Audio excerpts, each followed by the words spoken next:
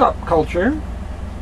By the way, there's a particular website that I visit now and then. Check out a video or two. And it's got these ads that run on the right side. It's got a lot of ads.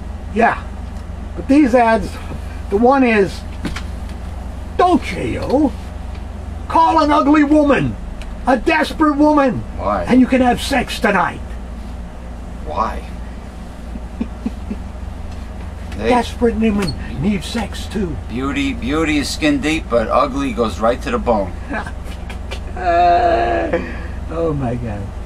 Sexual norms revolving around more casual, uncommitted intimacy, say, their research is sometimes misunderstood to mean that sex is newly rampant on college campuses. Instead, LaSalle University Associate Professor Kathleen Ugh. A. Bogle likens the change to switching romantic scripts. With the dating script, it was like, I'm going to date someone, and that might lead to something sexual happening. Whereas with hookups, it's the other way around.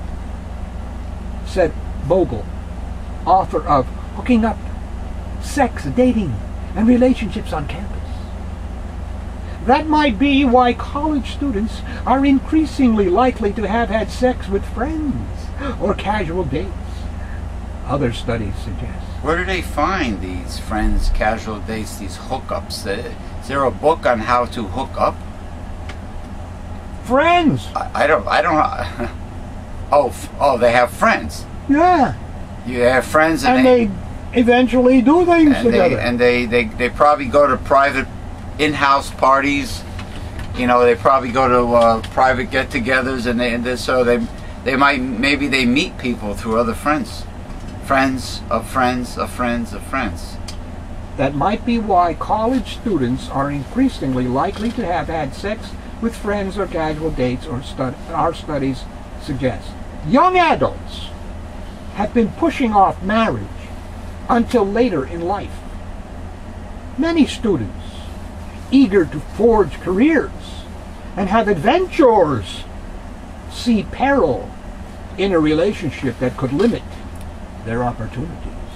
Well, it's only peril if, if that's what you want in your life. If you want if you want to play the field, then don't don't get serious and don't get married. You know, don't act.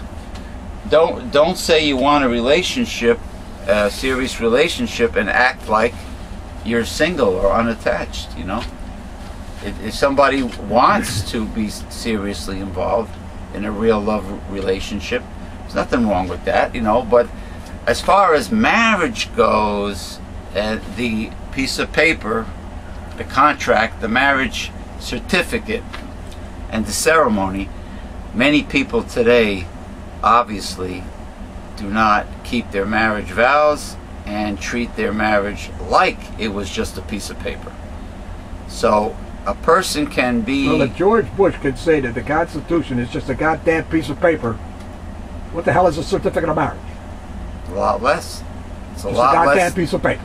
It's a piece of paper, which means that a person who is very really loves you and, and, and is devoted and and stays with you, you know, the clock is is the, the calendar is proof of you know the sincerity of the love. The, if the person stays with you over the test of time and they're with you through thick and thin, then the, the marriage certificate is not important.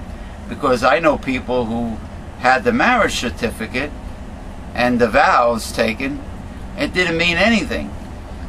It went out the window. Well, Phil of the Duck Dynasty, the Yeah. patriarch of the clan, he was not married to Miss Kate. They're married some 40 years or whatever. Yeah. So the other day on the show, they got married. Uh, well, uh, Gene Simmons of, of the rock group Kiss was a cohabitating, yeah, the tongue, tongue man, lengua. Ah, Wow. Oh, your tongue is still black. What are you Yeah. turning into a chow dog? I don't. the chows have a black tongue. I've had it for some time, and I'm thinking that maybe, just maybe, it might have something to do with the catalase. Do you So you- I disrupted taking it. do you have uh, any discomfort with your tongue? Any any any pain or discomfort? See, that's that's something you got to be concerned about. But getting back to uh, examples, hey, uh, uh, Sharon Shannon Tweed, former Playboy, uh, I guess Playmate of the Year, uh, has been was his main squeeze for many many years, and uh, they were they were a couple. They were unmarried couple, but they were a couple nonetheless. They had children, right? And then I think they got they decided to get married because Shannon Tweed kept on pressuring him, and uh, but hey, it's just the the legality of it. If you if you're with somebody long enough, they call it like common law wife, right? Common law relationship. Yeah. So a lot, uh, a lot of the laws that, that are involved in a real marriage take effect, so, so, so, so speak. But, but, but the point is, it's paper. As long as the person is with you, only time tells. As the record, which is our local paper, Yes. noted in a recent editorial, the United States Postal Service is an American institution well worth preserving. That's true. The Postal Service, older than the country itself mm-hmm. and rooted in the Constitution today, provides Americans and their businesses with the world's most affordable delivery service. It's also the centerpiece of a $1.3 trillion national mailing industry, employing 7.5 million Americans in the private sector, including 265,193 in New Jersey. The unique Postal Service network contributes in other ways to our society, including the city's readiness initiative, under which letter carriers volunteer and are trained to deliver medicines house to house in major metropolitan areas in the event of a biological attack. I'd like to see UPS do that. UPS, they're lucky they can they can deliver regular packages, normal packages. Letter carriers also conduct the nation's largest annual single day food drive. The second Saturday each May. This year, Bergen County letter carriers collected an extraordinary 800,000 pounds for distribution to local food pantries.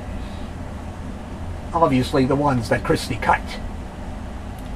Yeah, they cut the food pantries, but but you can tell Christie's food food supply was never cut. Carriers nationwide collected one quarter pound of food per person. Generous Bergen County postal customers donated nearly a pound on average. This is timely because school food programs don't operate in the summer. Northern New Jersey letter carriers have led the nation 20 straight years in raising money for the Muscular Dystrophy Association letter carrier's official charity. And as New Jerseyans experienced in Sandy's aftermath, letter carriers are key to normalcy and stability in difficult times. Yet, the Postal Service faces financial problems. This is getting back to what I was telling Billy. Yeah, I know. The question is how to resolve these problems in a manner that preserves this important institution rather than dismantles it. to figure that out requires understanding what the problems are and what they are not. The red ink doesn't stem from postal service provided by the public to the public by the postal service. Not door-to-door delivery, not Saturday delivery, nor is it caused by the internet-related rise in email communications. If that sounds counterintuitive, look at the facts.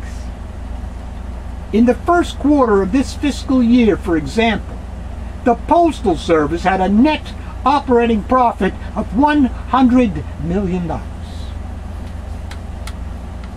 The Postal Service took in $17.7 billion in revenue from selling stamps. The agency is self-funded and hasn't had a dime of taxpayer money in 30 years. Now they have a website where you can print things from it. Yeah. Post office. And it spent $17.6 billion delivering the mail. Those expenditures include every expense facing a typical business workers' pay, benefits, trucks and fuel, buildings and maintenance, etc.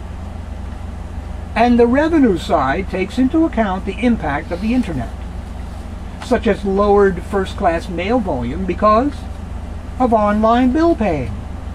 What about the many people who can't afford a computer and to pay for internet and, and who live in rural areas that rely more on their postal deliveries? While first class mail revenue declined 2%, package revenue rose 9%. As more folks ordered items online. People are shopping online more than, than uh, in person, actually, because you save money. You know, it's, it's convenient and, and, the, and the prices are better. Yeah, online shopping is, is going to replace the retail store. This performance is all the more impressive given the lingering poor economy.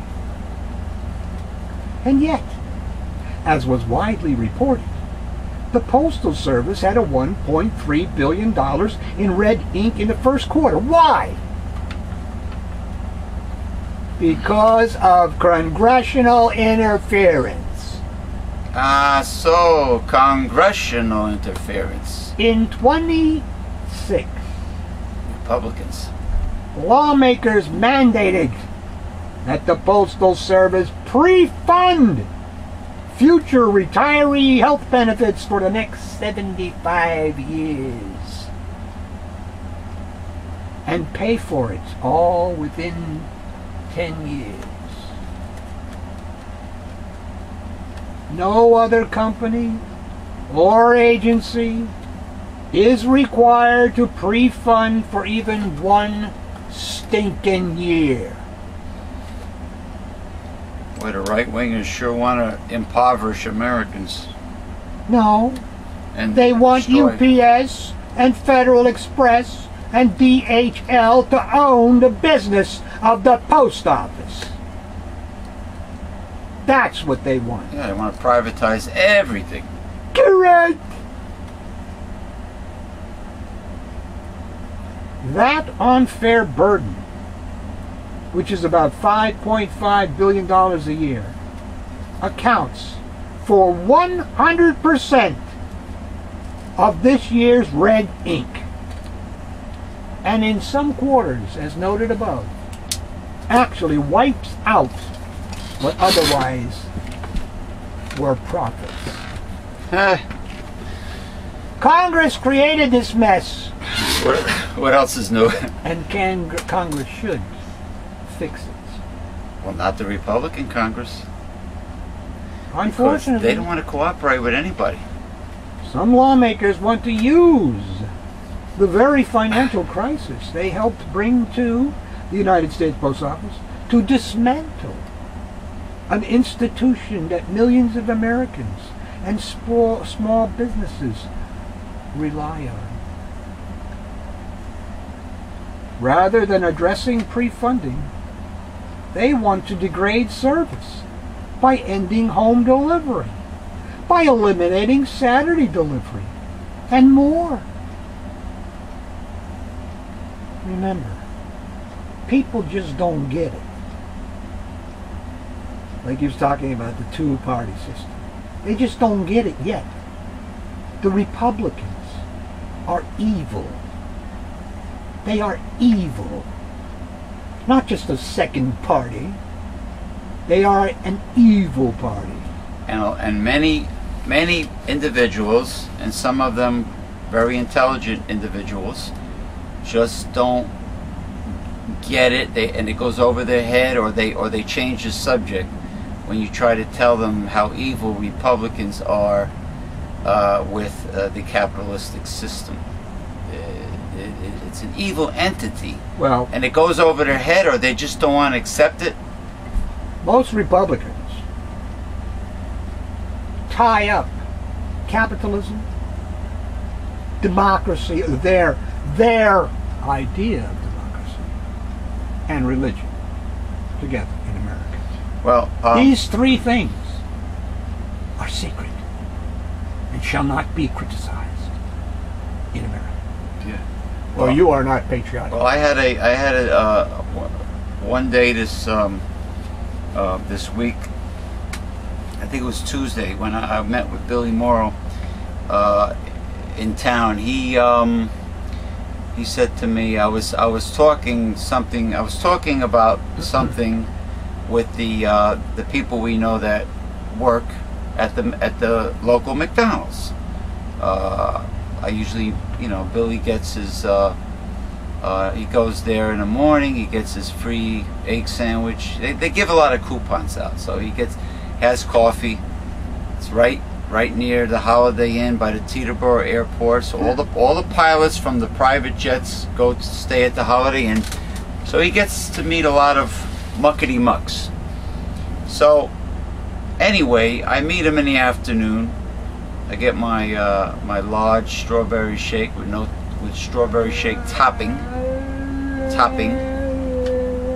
I don't want whipped. I don't want that hydrogenated fat Cool Whip whipped cream, fake whipped cream, and a maraschino cherry. Uh, so I says top it off with milkshake, strawberry shake topping, which is kind of sounds funny, but they, you know. Anyway, we sit down. I, I, I find out that Dr. Oz was at this McDonald's that same morning filming. So I go up and I, I get some, I needed some napkins because they don't put out napkin dispensers anymore.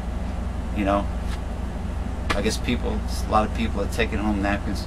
So anyway, I, and I'm telling one of the young men that we talk to a lot um, about Dr. Oz. He said he oh he said to me on his own, "Hey, did you know Dr. Oz was here?" I didn't I didn't even bring up Oz's name. So I says, "Yeah, I know Dr. Oz was here." And if I was here and he came up to me and asked me a question, I tell him exactly how I feel. Dr. Oz, okay, promotes uh, the use of vaccines, but he would not allow his children to receive vaccines. Okay, so the gentleman behind the counter says, That sounds hypocritical. Oh, I says, Well, yeah. I says he's he's a he's he's like He's a hypocrite. He's a hypocrite. Corp, What do you corporate whore, corporate whore, uh, f- a big pharma, big pharma whore. And even though he has a TV show, because uh, when he had a TV show about um, about uh, anti-aging, uh, you know what his uh, prescription for anti-aging was? He didn't mention anything about antioxidants or vitamins, minerals, or herbs or anything. He says Botox injections. So I know he's big pharma. Anyway, Dr. Oz, so Billy Morrow says to me, Ah, so you're one of those troublemakers. You sound like a troublemaker. I says, No, I'm just a very honest, straightforward, truthful person. He says, Oh no, you gotta bite your tongue, in, in, the, in especially in the business world. In business, business. Yes, you I said, would do. you, would you like to say that word, business? So, you yeah, you gotta yeah. bite your tongue. I says, why do you have to bite your tongue in business? I says, you bite your tongue in business. Now, this is what I try to explain to you all the time. If you wish to get ahead in that world, yes, you do have to bite your tongue. In that in that world. Yeah. But where else do you actually get ahead? You know? aside from the business world. I Does that, does that include the uh, uh, Hollywood and uh, entertainment industry and like if you're on a talk show? Well, you can only go so far. well, there are listen. There are controversial people, uh, uh, controversial celebrities that speak their mind, to an extent. but to an extent. That's correct. In other words, if they start to expose and buck the establishment that helps pay them, There you go. then there's a problem, right? Then there's a problem. You know, like uh, And you also got the problem. If let's just stay in the religious sphere for Yeah. a moment. Let's say you were preaching the kingdom of God from the Bible and what is in the Bible, etc., etc. right. Well, according to this world, you will only be a certain amount of success. 'Cause You will not be large, Yeah. okay, as Luke 32:12 says. You won't be accepted into the into the uh, uh, established religious circle, Correct. the fold. the fold. So, though you may, uh, let's take for instance uh, uh, God's church today.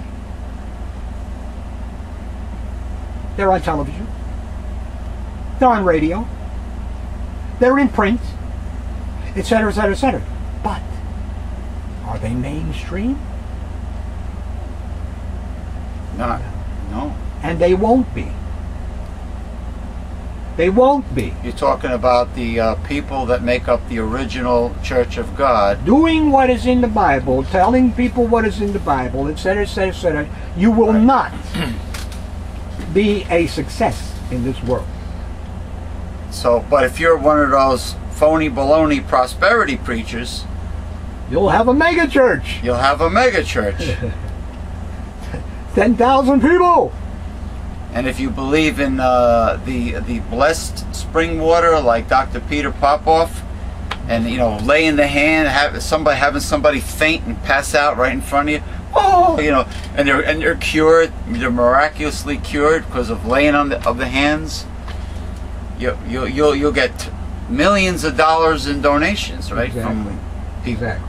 If you're evangelical and you believe in getting funky and boogieing in, in church and Born again. and born again, jumping up and down and, uh, with your arms waving, hallelujah, Kissing snakes. dancing with, taking up serpents, taking up serpents up their ass. Whoa. no, but y then you're accepted. Hey, look, Charlie Sheen most likely told the truth about his producers of the show Two and a Half Men, but he got fired from Two and a Half Men because He they didn't like what, outspoken. huh? Little too outspoken. They didn't like what he said. Yeah, too, they only let him go too far with that uh, being able to attract warm bodies for commercials, you know. Once you start uh, failing in that area, uh, you're out on the street, pal. Yeah. So if you're like you're a business person or you're a celebrity and you suddenly say, uh, "Hey, you know all these commercials that you see late night TV, all these infomercials, most of them are a bunch of lying nonsense." So Crap. you're so you Just start to get you to buy something. you start rocking the boat, rocking the boat, rocking the boat, exposing, exposing people. Yeah. Just like uh, if Barack Okay. Obama told what the 100% absolute truth when he's on national TV, okay, then which will expose corporations, Uh-huh. then the people that gave gave him money for his campaign Withdraw it right away. would it would they would cease Cease to exist. And the, the same thing would happen to Hillary Clinton's campaign, uh, her run for uh, in 2016, right? Yeah. If she came clean with her husband at her side and told everything, you know what? I like Brother Weiner. I, I, I, have been I like his commercials for he's running for mayor of New York City, Anthony Weiner. He did a great job as a congressman for New York State. No, congressman, Congressman for for the United, and, and, and he was in Washington, representing New York State. Not the state. No, he he fought. har- Section of the state. Yeah, section. He he did a lot for the little guy. He fought hard for the little guy, and Well, you he know- and he did his job. When it comes down I to like it, I like Brother Weiner. when it comes down to it, and I have a little more to finish with this. thing. Okay, okay, finish it up. Mr. Weiner, Mr. Hot Dog, didn't do anything wrong. The man just He just sexted to some chickarinis and showed them pictures of his dingaling. he he never. It's a form of fetish. He never he never uh, committed Right. adultery Per se. per se. Per se. He never got. He ne- there was no sexual contact Per se. per se. So, you know, what did he do? That was wrong. Now, if his wife was really against it, I think a woman would put the man through hell if he just went on and did it on his own anyway. I mean, if she really was against it and she's married to the guy, Whatever. They went into therapy supposedly and they did this and they both accepted it. So, bingo. and plus she, I what think, did the guy do wrong? I think she wants to be the future first lady of New York City. possible, Or- possible. And she saw promise in her husband's career, which is a possibility. But then again, it, it upset Hillary. Hillary's all upset about it. I don't know uh, because she don't want to be tainted in any way. She's already tainted because they're gonna conservatives. they might drag drag up Monica Lewinsky and and Bill Clinton again. Yeah. But there's a big difference. The this Point is, is, there may be a big difference, but again, once you get rid of all the other bullshit involved in it, what did he do wrong?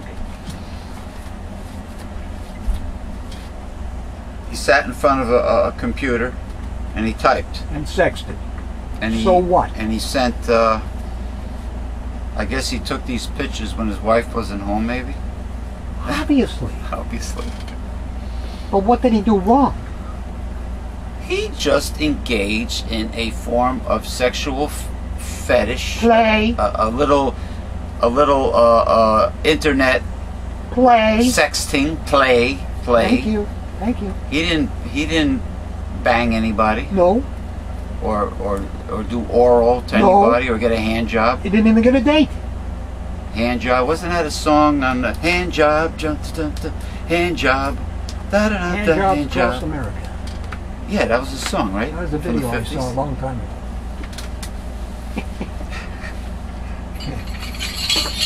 Hold on. You know, All right, let me finish here, please. yeah, finish that up. Gotta go.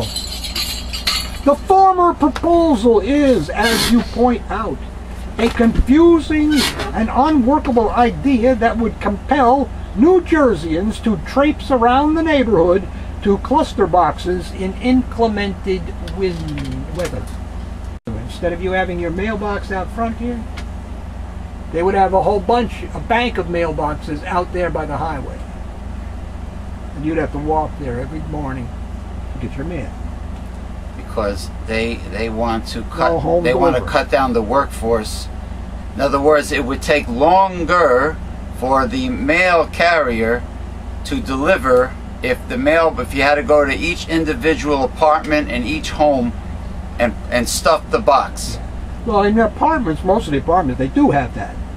Downstairs in the lobby, they have a cluster boxes, and, Cluster and the box. mailman just puts the mail So- in each box. So the post office would require less mail carriers to do the cluster. Yeah. And you know, and It's all calculated to destroy the U.S. Post Office. shrink, shrink, shrink, shrink. Government agencies. Hold his phone today. Somebody is trying to Nobody. fuck. Somebody's trying to fuck with us. Meanwhile, stopping Saturday delivery would raise costs for small businesses, which are open on weekends and would have to contract with expensive private carriers. New Jersey's small businesses employ 1.7 million people. Even from a strict financial uh, standpoint, degrading service is counterproductive. It would ultimately destroy the Postal Service by driving customers and revenue away. New Jersey's representatives in Washington have a choice. They can degrade service to the public and send the Postal Service on a downward spiral, or they can fix the pre-funding fiasco so folks can continue to receive the services they have counted on for decades.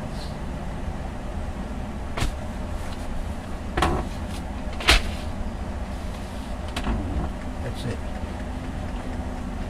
Privatization in the long run always fails.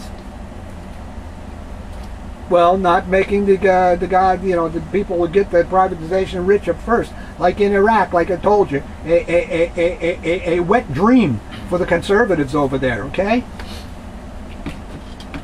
privatize the water or the electric grid, like Halliburton did. Get privatized. They did it in Fool around for a month, like you're working. Take the money and run. And that's what they did.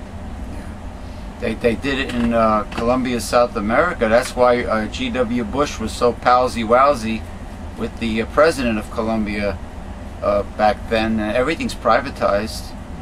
It's all a cow. oh, if you're poor, if you don't have health insurance, and, and, and you go to the emergency room, and you and you don't have health insurance, and you don't have uh, you're not roll you don't have uh, you don't have money to pay, you die outside. You you, you, you sometimes you got to bring your own supplies. You got to buy your own supplies.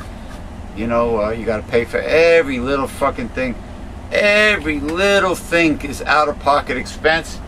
There's no government agencies. There's no welfare. There's no nothing. Nothing. It's all privatized. Everything is out of pocket expense.